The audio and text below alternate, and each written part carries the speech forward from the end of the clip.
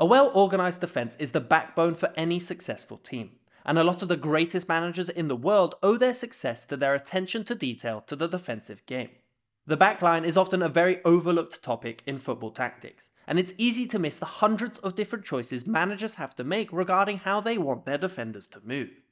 From man marking or zonal marking to defensive diagonals or offside traps, how a team defends certain situations can have a massive impact on their success.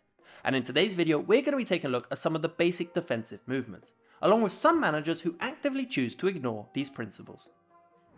Welcome back to Football Meta. Before we get going today, all stats in this video are brought to you by Soccerment. Soccerment gives you access to unique data from over 17 different leagues across the globe, allowing you to search and download all metrics from your favourite player or team. Thanks to their proprietary algorithms and unique metrics, Soccerment gives you insights into the game you won't find anywhere else. Each player has their own graphs and dedicated polar chart that allows you to visually compare your favourite players and help you improve your knowledge of the game. Click the link in the description down below to get started. Thank you to Soccerment and let's get back to the video. Now, quick disclaimer, today's video will focus solely on the movement of the defensive line. If you want in-depth breakdowns of team-wide defensive tactics, then check out this playlist here. To get a better understanding of the different phases of the game, let's divide the pitch into three zones, and take a look at the main responsibilities in each of these areas. Zone 1 will be the opposition goal kicks and build-up. Zone 2 will be the team's first fullback option, while Zone 3 will be defending the goal. The first phase lays the foundations of a team's defensive principles, with all systems falling into either man marking or zonal. In man marking, the defenders will latch on to any striker and follow their movements around the pitch instantly closing them down as soon as the ball is played. The perfect example for this system is Gasperini's Atalanta, with his three centre backs and two wing backs giving no space to the team's striker or wingers.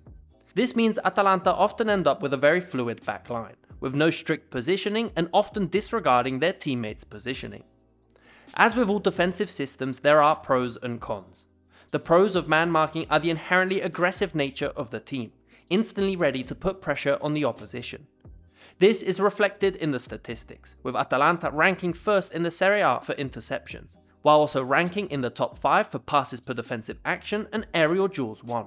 On the other hand, the risk of this system are the amount of responsibility that is placed on each player. All it takes is one defender to lose track of their man and the team can instantly be outnumbered, causing a domino effect on the rest of the team. Now, on the other end of the spectrum, we have zonal marking systems. These systems have the advantage of being unfazed by a striker's movement, and the back line will move as a unit to cover certain spaces depending on where the ball is. Maurizio Sarri is a manager that has relied on this system for his whole managerial career. His back four start in a line and shift as a unit depending on the location of the ball. Independently of how many attackers are near the defensive line, their reference is the position of the ball, and have essentially scripted movements to follow to ensure dangerous spaces are covered. The pros of this system are that a team's movement can be scripted to ensure they know their positioning in specific situations, and a manager has more freedom in where to deploy his defense.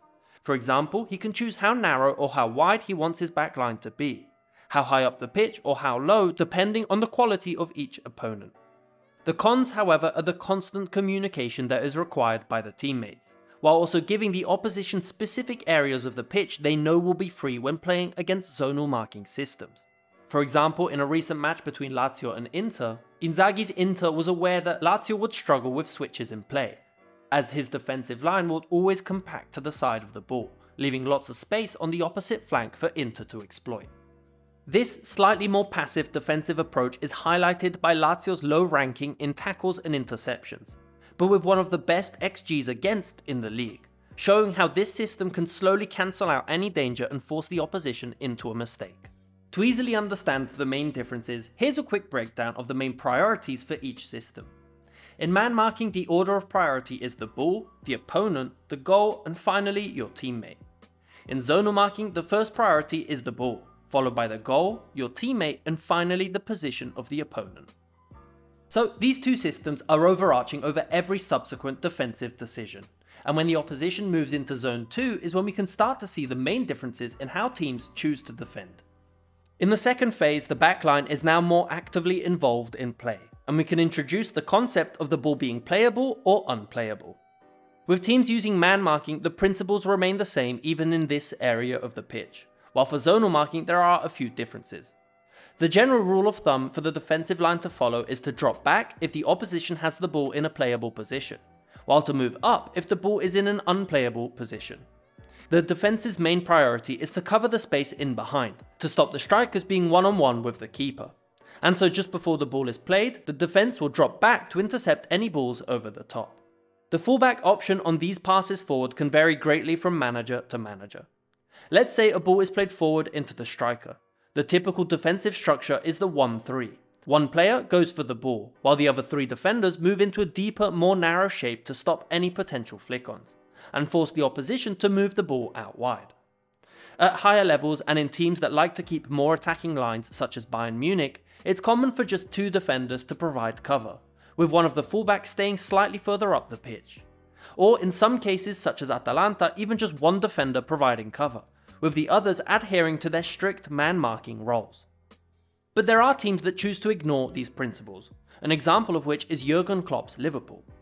It's common for the Liverpool defenders to hold an exceptionally high line, and when the opposition has the ball in a playable situation, they don't cover the space in behind, but rather push up a few steps in an attempt to catch the strikers offside. Last season, Liverpool caught the opposition offside over 100 times, 40 times more than any other team.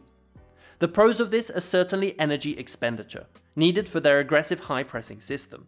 But the cons are that it requires the team to be constantly in line, or they could end up being caught in behind, something that seems to be happening more and more frequently this season.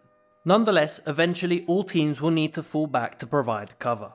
With the opposition moving in from the flank, the defending team will often adopt a similar 1-3 structure, with the fullback closing down the player on the ball, and the other three defenders forming a line in a slightly deeper position but even this can vary greatly depending on the team, and the distance from the goal.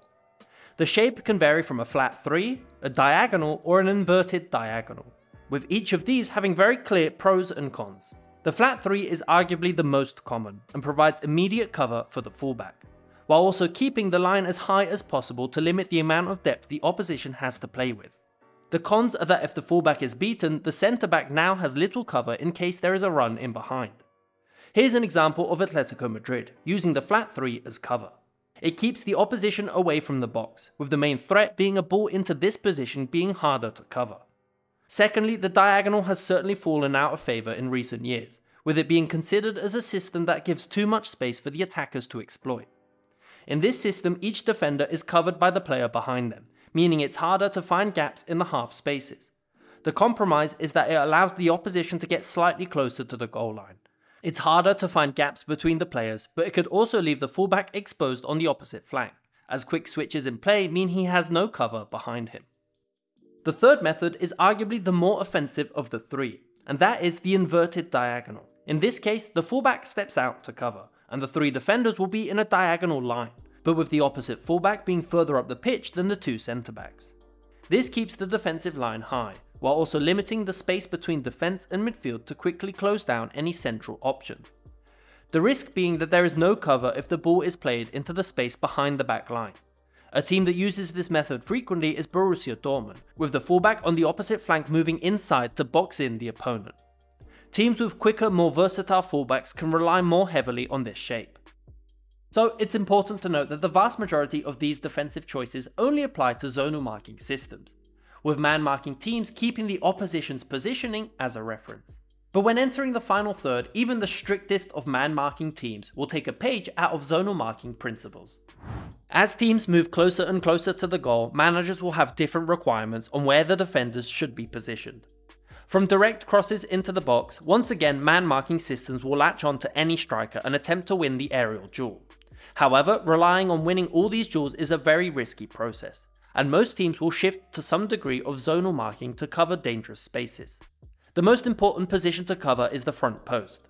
Let's say the fullback has stepped out to cover. The first centre back will position himself in a way that the ball cannot go between him and the goalkeeper. Roughly speaking on the 6 yard box, slightly in front of the goalpost. The other two defenders will either man mark the strikers and attempt to win the aerial duel, or maintain their zonal marking principles and adopt a specific position. The most common is the three defenders in a line across the 6 yard box, and will attack the cross moving up the pitch. managers such as Sarri will adopt a triangle shape with the central player of the three stepping slightly further up, relying more on the goalkeeper and having more central cover. While if the delivery into the box is coming from the touchline, the line will often shift into an inverted diagonal to give the goalkeeper more breathing room and have more cover on the back post. The pros of zonal marking in the box are that the most dangerous areas are covered, while the cons are that if any player is beaten then the striker will have a free chance at goal. On the other hand, man marking ensures the strikers are all covered, but there is little cover on the front post, and so it's harder for the defence to prevent the ball reaching the striker in the first place. So, obviously, the rest of the team will need to help out to completely prevent any goal scoring opportunity. However, if the defense is not correctly positioned, it makes the whole team's job a lot harder. And there you have it. These are the basic defensive movements that the majority of teams will adhere to. So next time you're watching a match, make sure to check out how your defenders move, and leave a comment down below if they do anything new. If you enjoyed this video, why not check out this video on expected goals, and how it led to the increase of crosses and cutbacks in the modern game. As always, if you enjoyed this content then please leave a like and subscribe for more. Thanks for watching.